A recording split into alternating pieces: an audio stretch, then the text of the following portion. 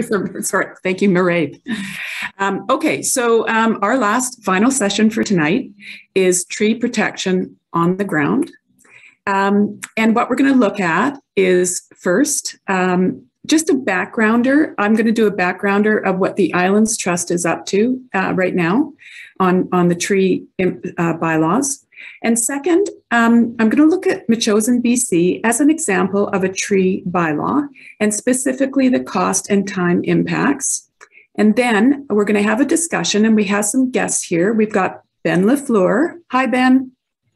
Woo-hoo. Oh, he's probably muted. Um, and he has on his team, um, at, in his uh, company, GoodasWood Tree Care, he has a certified arborist and certified contractor, tree contractor. We've also got Jamie Harris. Hi, Jamie. He's there too. He's, he's on mute too. Um, Jamie is a certified tree faller and he's from Salt Spring Island. Okay, so this one's a bit loaded, this slide, but on this side, what we've got is the dates and the types of council meetings, Islands Trust Council meetings or executive committee meetings um, through 2019 uh, uh, to up till pretty much now. So on the other side, uh, it shows you that the type of presentation on specifically related to tree bylaws, et cetera, um, mostly um, delegations and specifically by Raincoast um, Conservancy Foundation. Um, and then the other ones are staff briefings. I would note that in September, just this past September, um, that council trust the trustees really look deeply at um, tr- a tree bylaw and they had breakout sessions. So this is ongoing. So now up here, it's September 2020. This is just one slide from Raincoast's delegation. And then look here where it says number three, pursue and Im- the implementation of tree cutting permits. Um, and you know what I realized after Megan's um, presentation, they are also pursuing to have authority over forest management uh, over the PMFLs, which um, was uh, was quite amazing to me. But so this is, slide is just showing you one example. On the next slide, what we've got is all of the five recommendations that Raincoast put forward. And that came out of um, a well-funded um, study um, um by Raincoast to Environmental Law Center at UVic. Um, and then again, we just look at the one that the little one that I'm looking at today, which is um, pursue the implementation of tree cutting permits. Okay, so um, I've just got a couple of little things that came out of this. And one is um, what this statement says basically is um, you know, if you, I, I, think some of our people here tonight um, made delegations at um, at council at the council meeting, and resulting from that, um, count uh, the trustees may say, "Well, study study these things further." So what what the trustees did, in fact, was basically cut and paste those ideas and say, "Please study them further." That's what this first one says.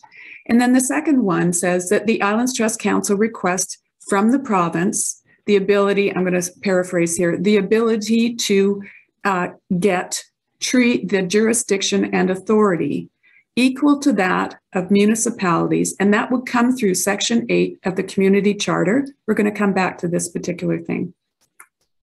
So this, again, is a cut and paste from the staff briefing of December 2020. And again, you can see it's a cut and paste of the recommendations and the one that we're looking at.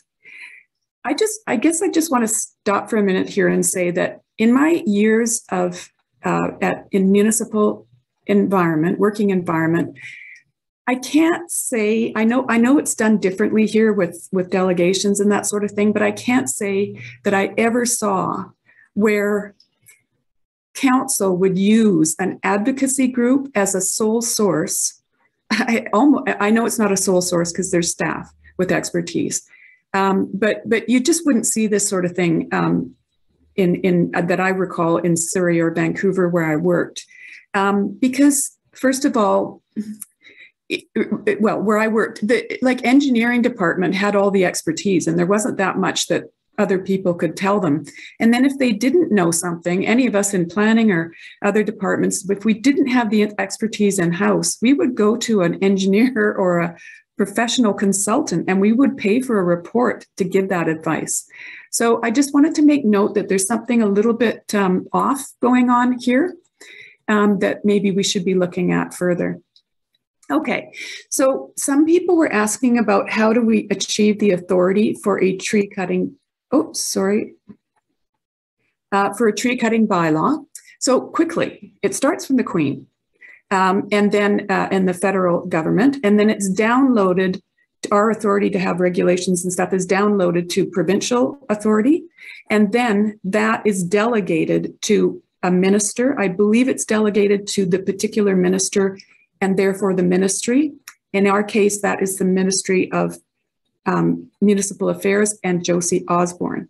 So you can see here that a tick means that this particular act or charter that is under the, that particular ministry has the authority to enact a tree bylaw.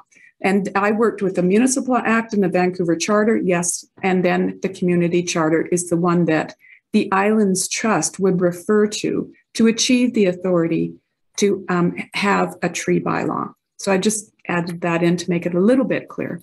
So then, for example, if you look at the Raincoast Take Action page on the coastal Douglas fir forests, there's a reason why they've said write to the premier if you want a tree bylaw and if you want to enact, you know, all this expansive authority over top of all our forests. Um, it's because the authority comes at the provincial level. At this point, however, the request has been made to um, expand that into the Islands Trust. Okay, so now we're going to go into the second part, which is cost and time impacts. We're going to look at Metchosin, BC. There's Victoria, Sooke, so Metchosin is in between. It's an incorporated municipality, so of course it gets a tree bylaw just by being a municipality. Um, and they have had one. The population is quite small at 4,700. And the interesting thing is it has a really rural context. So it's one maybe one of the few places that actually has a rural context like the Islands Trust. Um, and so let's just look at an example site, um, a treed site, um, and in Metchosin, they have listed protected trees. So um, this is the list here, and you can see, you know, just an example of how those trees would might be distributed through the site. Okay, so I think a big question that people have about tree bylaws is, well, I have to be able to build my house. Um, and so when you get, this is what Metchosin has done, and it's probably fairly typical. You cannot restrict the, what, what the use of the land is for. So you have to be able to build your house if it's zoned for a house. So you would get a building permit for your house, for your outbuilding, for your services, your septic, a whole bunch of things in that area that you see, that's the house, that's the um, area around it of some amount, you can not only remove all trees, but you can remove protected trees. And it's the same for a driveway. You get a separate permit for a driveway, and in that area, you would be able to remove all trees and protected trees. So then what are we looking at? We're not looking at a building permit or a driveway permit. We're looking now at a tree permit. Now, so that we're in over and above the needs to fulfill the use of the land and have a house, um, you might have sort of what might be called discretionary tree removal. It's probably not the right word, but gives you the right idea. So in that area, let's say you want a bigger yard, you want more sun, you want a garden. Um, for all those reasons, you would have to get a tree permit. And in those areas, you cannot remove those protected trees. So then just a quick summary. We've already talked about the reason for removal. It's somewhat discretionary, but you do need a permit for all of that beyond your house.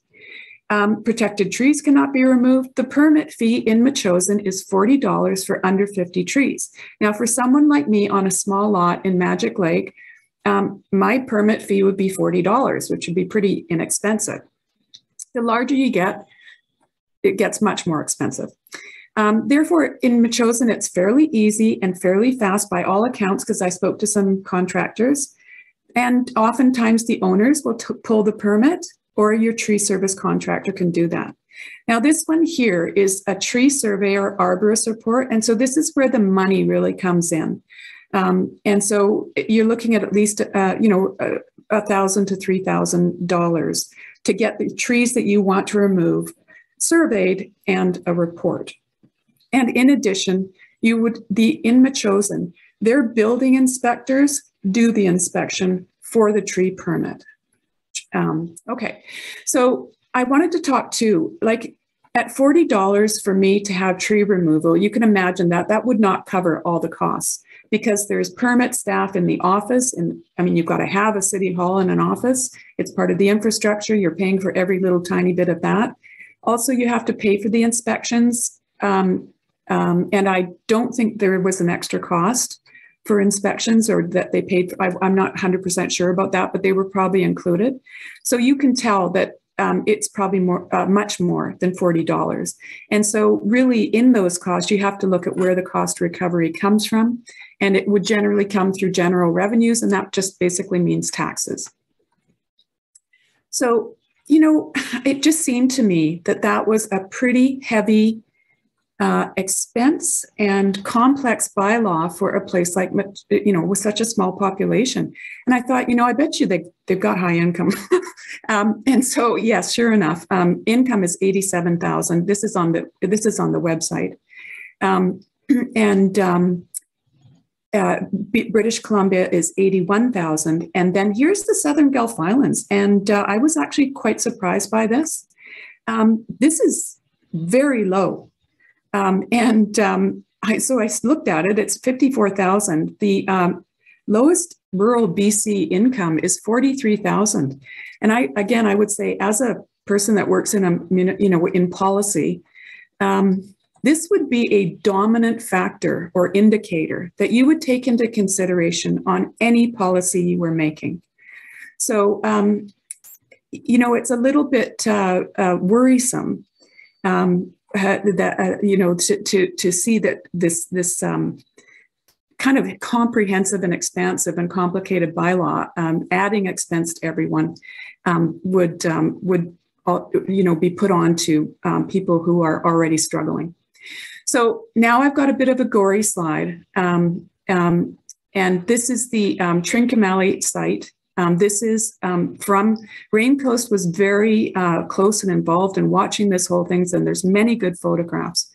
Um, so I have a question. Um, would a tree bylaw stop very much removal from this site? Because this is, I understand that this was, um, uh, the, these people tried to get a share a driveway through, but the neighbors couldn't get it and threw up their hands and said, okay, fine, we'll do the whole thing. So there's a long driveway. And of course, you want to put your home down low, close to the water. Um, so it's a long driveway. There's a lot of cut and fill in here. So many of the, you couldn't save trees in that area to put that driveway in. So is it possible that a tree bylaw would um, not even stop this, which is uh, something that people are very worried about? Okay, so that's the end of my part. I'm going to hand right over to Ben Lefler, who I know is there but muted. There he is. Um, so why don't you go ahead and talk about your uh, comments on this? Yeah, haere mai, tēnā koutou, tēnā koutou kātai, uh, iwi, Salish and uh, Southern Gulf Island. My tongue to yours, good to be aboard. And I guess um, unofficially and um, self-appointed, I'm kind of representing a, pack of highly skilled and talented and um, certified uh, Southern Gulf Island arborist crews that are out there busy uh, working uh, for clients all over the Southern Gulf Island. And um, I think, I think, uh, yeah, naturally, there's a lot of concerns when the words tree cutting permits uh, have been thrown around in conversation. And I, I, I think the main consensus from our group is we, we're hungry for information and we're hungry for accurate information uh, so we can learn how to better service our clients in the Southern Gulf uh, moving forward. If something like this is to proceed, our concerns are probably not quite as deep cutting as Jamie's. He'll go into that, I'm sure, pretty shortly. But uh, all the same, uh, it will mean we'll have to adapt pretty quickly um, to service everybody properly. Um, yeah, I, I, I don't really have anything to add in the sense of here is our knowledge of the situation. Uh, I know there's many on board here tonight that are uh, that are listening in Galiano, um, Saturna, and Pender, and of course us here on Mayne um, that are very eager to get some of this information uh, so we can start making some good decisions moving forward. Um, it was, I just want to make a note, David, it was nice to see uh, on your biodiversity map uh, a little New Zealand down there below Australia. I also noted it was 100% uh, red hot, my friend. Yeah. So uh, somebody was looking at your maps, buddy. Um, yeah. Um, so that's really where we're at. If, if any of our uh, group, and we've um, a silver lining to this, we've been able to establish a, a Southern Gulf Islands arborist uh, group on Facebook, and it's uh, been nice interacting with the other contractors too. And and we are starting to push around questions amongst ourselves. And I know there's concerns around costs, uh, uh, uh additional physical uh, requirements that may be put on us because of something like this, and when we're already pretty pretty busy, and how it may uh, impede uh, the the kind of progress we need as um, we're making properties safer and cleaner, um, because a lot of trees uh, are failing in these uh, Gulf Islands too. So. Um, and thank you for having me aboard and uh, I appreciate the wealth of knowledge coming out of some very uh, knowledgeable uh, heads here tonight. Thank you. Um, that's great, Ben. And um, you know, oftentimes these this is what you see in public processes is people get together and form groups and great things happen. So that's really good news. Um, Jamie, um, well, I'm going to hand over to you now. Um, if you can talk about your experience. Sure. Um, hi. Thanks for having me.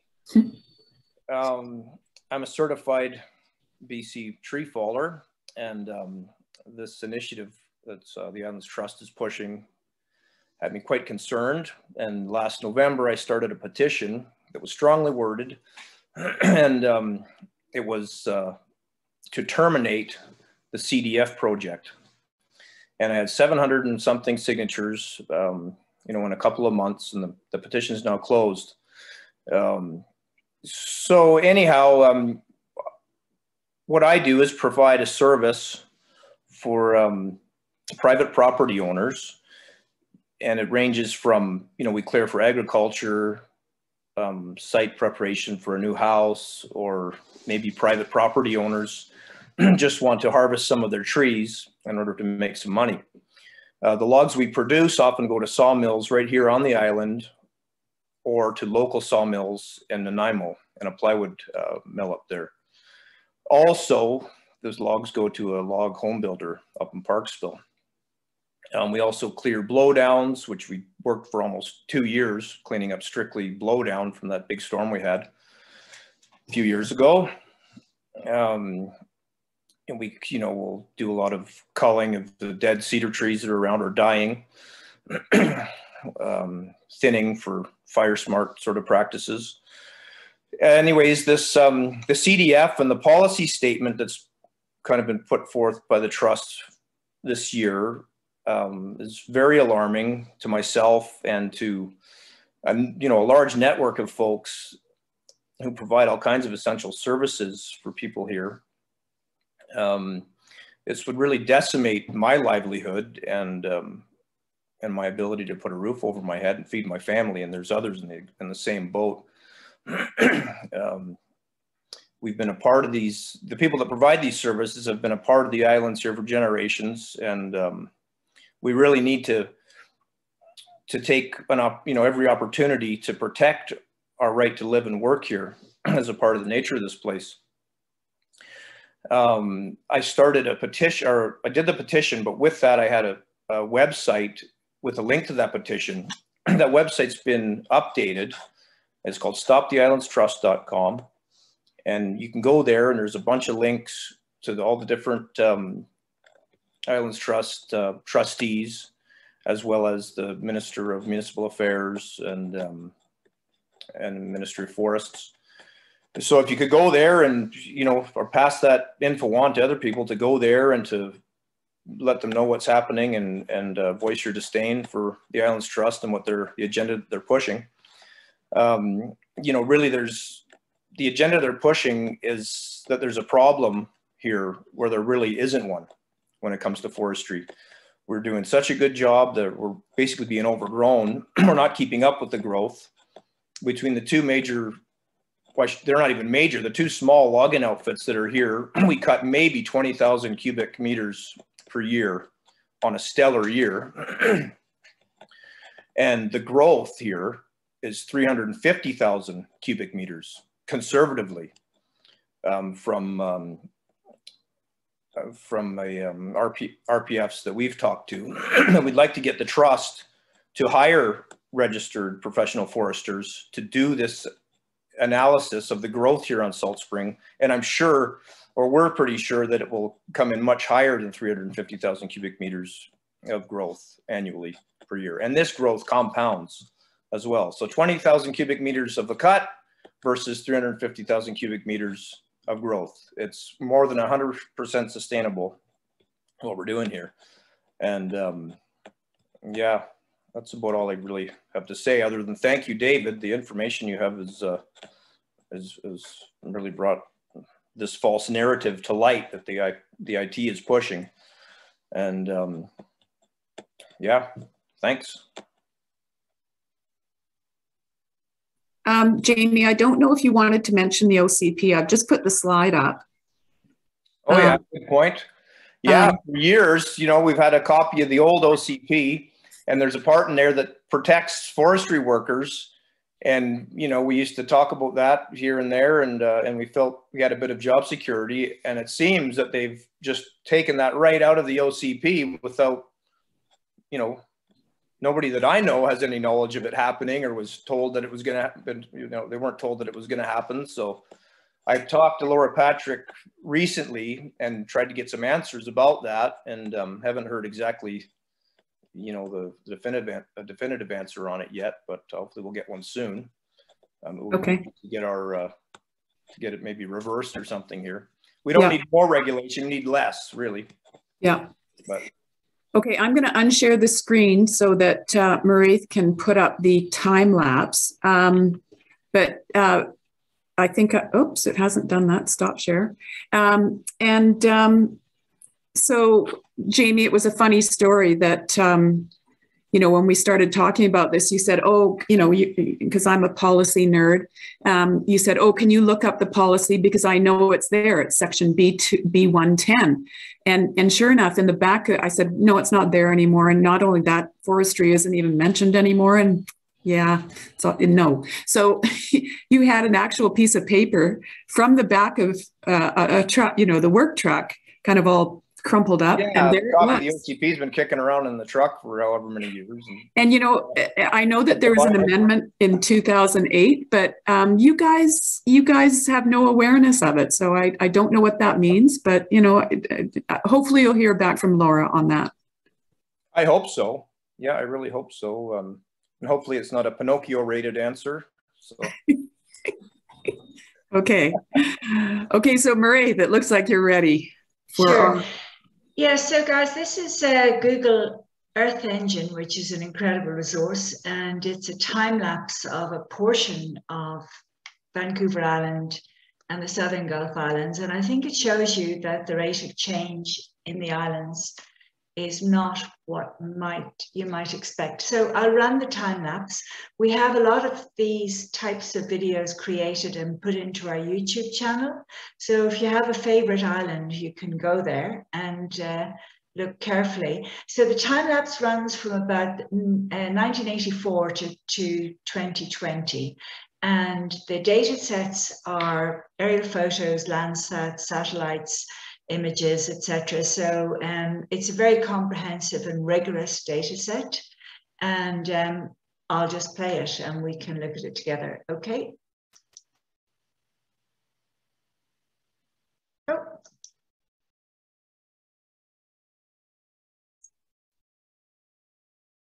So it starts in 19, up in the right corner, it starts in 1983. Now we're at 1993, moving forward. I love to look at my own island, Will. But um, so there we are at uh, 2020. And I think you can see that even though there were a lot of changes along the way, relatively speaking, the Gulf Islands are not deforested.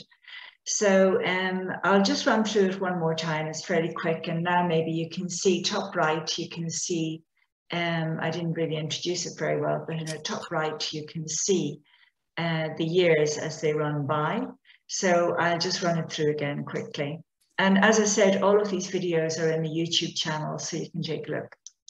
Okay, and and while we're doing that, I just we're just going to kind of summarize, um, and and we have one last slide that asks a asks a question. So, me, how about this? If David's study suggests uh, that this coastal Douglas fir is definitely not tiny, um, it uh, and and then further study on his uh, species at risk, and um, and we find out that that isn't true. Um, and that the forest that we love and love to live in is okay as it is, so long as we follow wildfire preservation practices, then, you know, it, you have to ask yourself is if that's the case, okay.